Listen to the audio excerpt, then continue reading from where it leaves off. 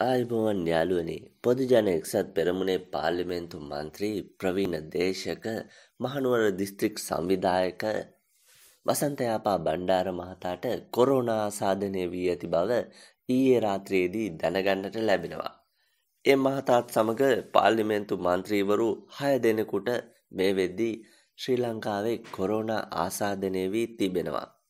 මීට දින අටකට පමණ පෙර කිසිම රෝග ලක්ෂණයක් පෙන්නුම් නොකරපු එතුමා තමන් විසින්ම තීරණය කරලා තියෙනවා කොරෝනා ආසාදනය වී ඇද්දයි දැන ගැනීම සඳහා පරීක්ෂණයකට යොමු වීමට. මේ විදිහට පරීක්ෂණයට යොමු වෙච්ච එතුමට දින 8කට වඩා වැඩි කාලයක් ගත වෙනවා රෝහල් බලධාරීන්ට ප්‍රතිඵල දන්වන්න.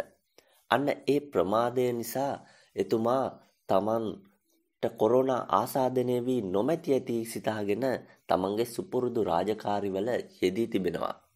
එතුමා ප්‍රකාශ කරන අන්දමට මේ කොරෝනා ප්‍රතිඵල ප්‍රමාදවීම තමන් සුපුරුදු ජනජීවිතයට එළඹීමට එක් සාධකයක් වුණා.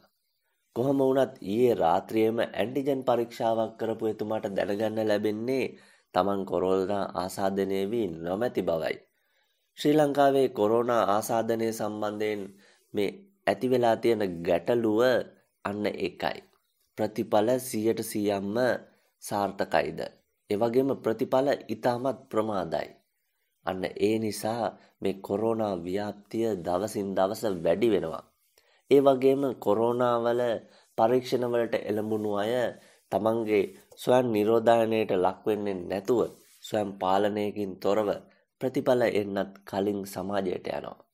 සමහර වෙලාවට ප්‍රතිඵල එනකොට තව ගොඩක් අයට කොරෝනා බෝ කරලා හමාරයි.